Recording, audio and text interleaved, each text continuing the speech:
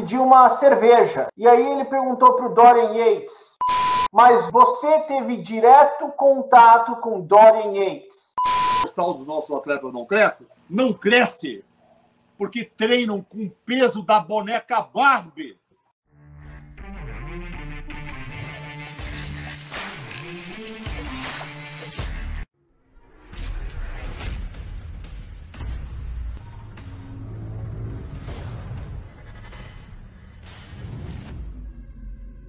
Vem com a gente Itinho Lima do canal Bodybuilding Brasil. Itinho, para você esse é um grande presente ter Valdemar Guimarães aqui com a gente, porque você, que é um cara que admira a história do fisiculturismo, hoje nós temos a história do fisiculturismo com a gente. Sem dúvida, para mim é uma honra, foi a primeira literatura que eu li do meio do bodybuilding. Satisfação total e praticamente um êxtase aqui estar tá podendo fazer essa live com esse mestre aí. Eu li anos atrás uma, um artigo do Peter McGov. Peter McGov, ele escreveu um artigo falando que ele estava na, em, na Inglaterra e ele era um amigo pessoal do Dorian Yates. Perfeito. E ele falou que eles dois saíram e eles estavam comentando. Dorian Yates tinha acabado de ganhar o Mr. Olympia. Peter McGov pediu uma cerveja. E aí ele perguntou para o Dorian Yates: que, que você vai beber? E o Dorian Yates falou, não, eu vou só tomar água, não posso mais beber. E o Peter McGuff falou, mas Dorian, a gente está nove meses do Mr. Olympia. Ele falou, não, não, não, eu não, eu não, eu não vou beber, eu vou beber água, eu já estou focalizado. Eu só conheci o Dorian Yates uma vez em 2006, conversei com ele por mais ou menos uns 30 minutos, inclusive ele perguntou para mim sobre o Brasil. Mas você você teve direto contato com Dorian Yates, The Shadow. Você realmente conheceu e sabe o homem. Você poderia elaborar quem era Dorian Yates pessoalmente, no dia a dia, na intensidade do treino? Uma leitura que eu recomendo para aqueles que têm curiosidade a saber sobre Yates, está aqui. A biografia do mesmo. From the Shadow, é a biografia de Yates. Ele mandou para mim, está aqui a, a dedicatória, e eu tenho a felicidade de eu mesmo estar citado aqui na biografia de Yates. Lá vivi. Quando cheguei na Inglaterra no início da década de 1990, Yates ainda não era olímpico. Ele, tem, ele, ele havia ficado em segundo lugar para Lee Haney. Ao longo dos anos, o que eu vi foi um sujeito treinando de forma sacerdotal. Ele ia para a academia para trabalhar. O treino era o trabalho dele.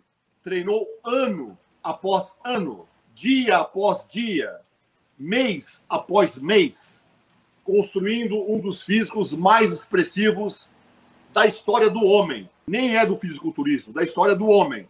Beneficiado por uma genética favorável, mas se não fosse os seus esforços e a forma sacerdotal com que treinou, não teria alcançado tamanho destaque.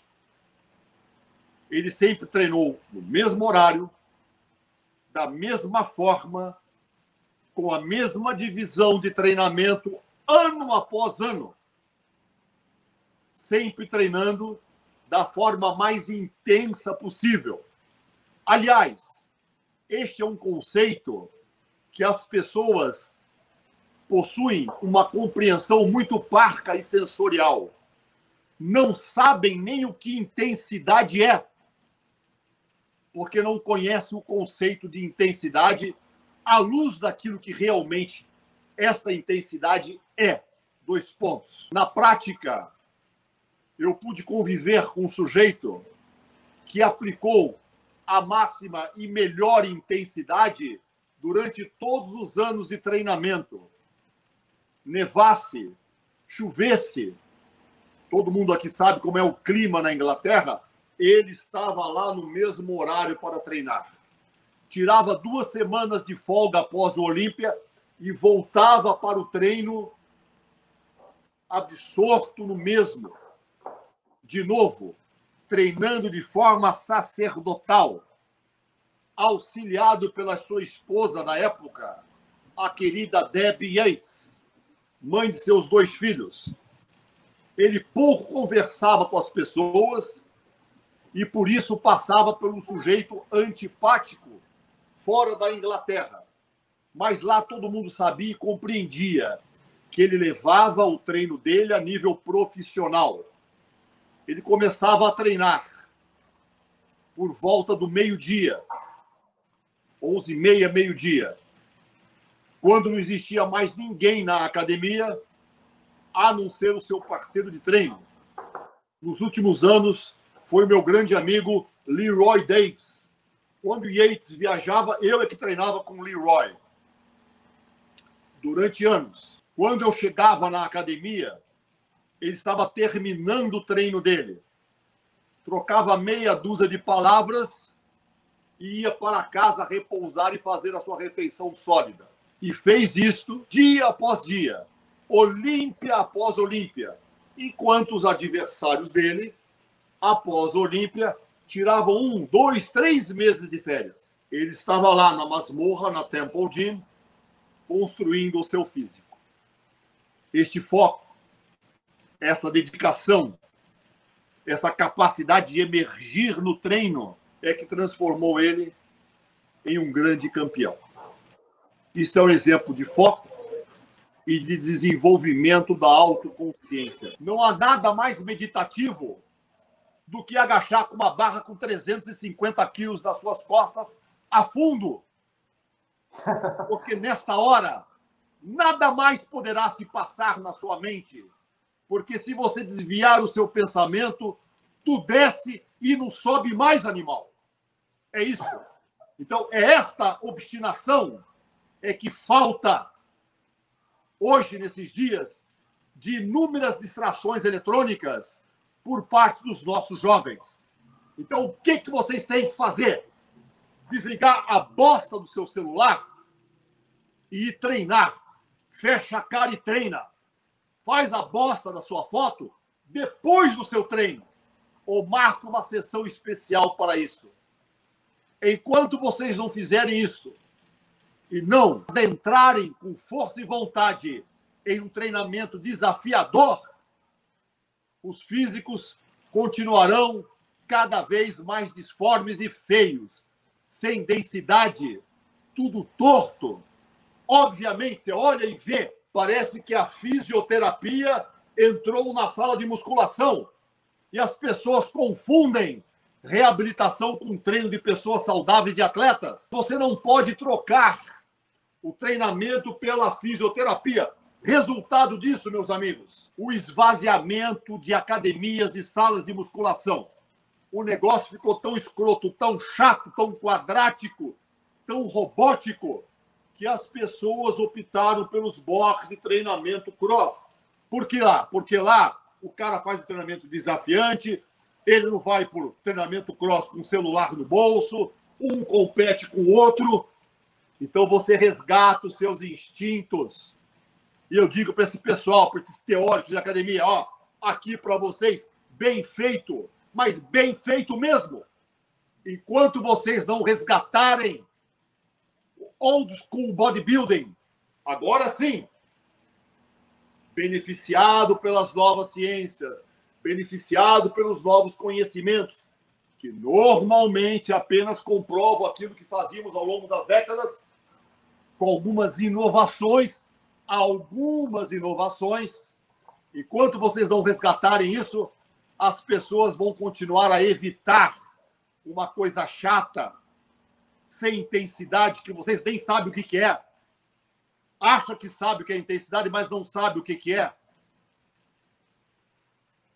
Vão continuar a ficar enjoados, de saco cheio, de tanta babaquice. Minha pergunta continua com o que você está falando. Eu, quando comecei musculação, comecei musculação no Brasil, na cidade de Piracicaba, em 1993, 94, na academia do Rainha de Piracicaba, né? Rainha ah, em Piracicaba. E uma das. De Piracicaba, Pamonhas de Piracicaba. Pamonhas, Pamonhas de Piracicaba.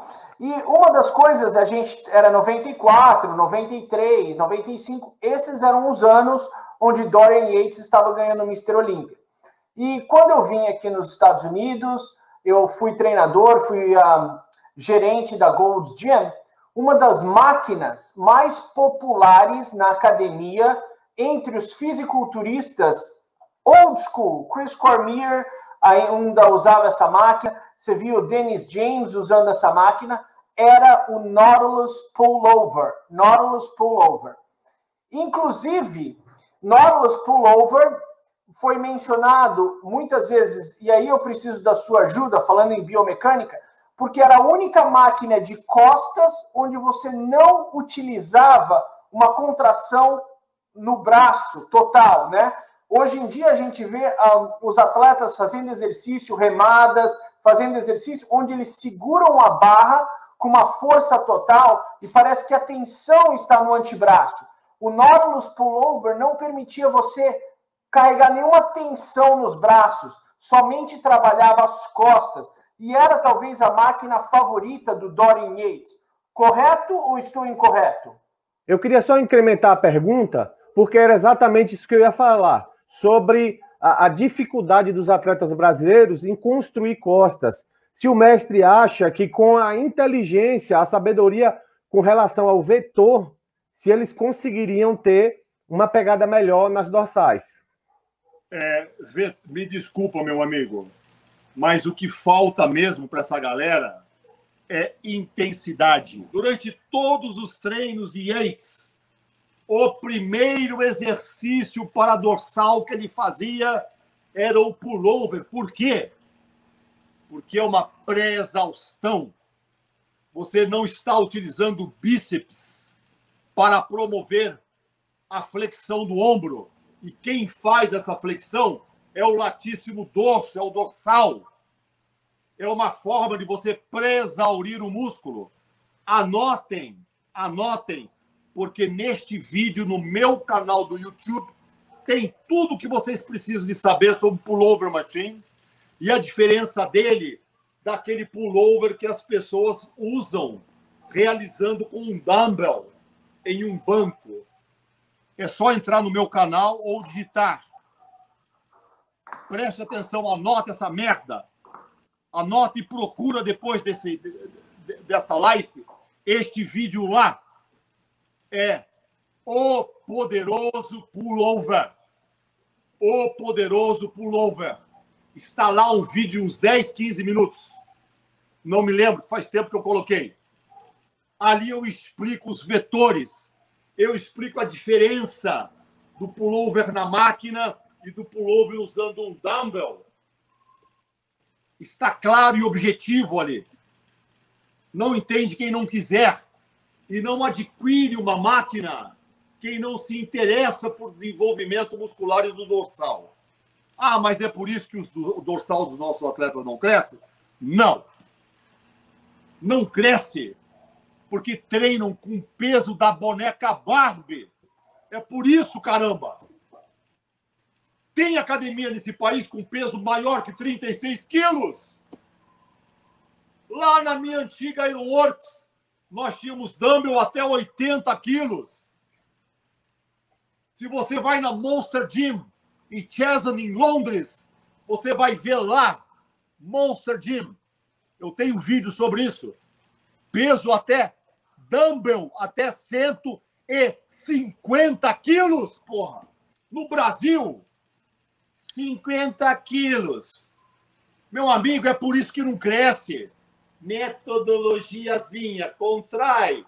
O idiota fica mais preocupado com a porra da escápula do que em puxar peso apropriadamente.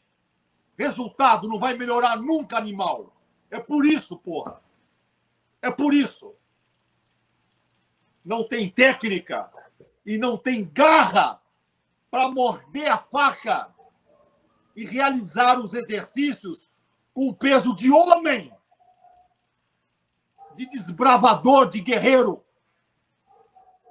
Porque é um bando de pussycats. É isso. Quer injetar alguma merda? Ai, eu preciso parecer grande, não tenho que ser grande. Resultado: corpos disformes. Eu espero que vocês da Muscle Contest puxem a orelha dessas pessoas para que possam criar físicos de verdade.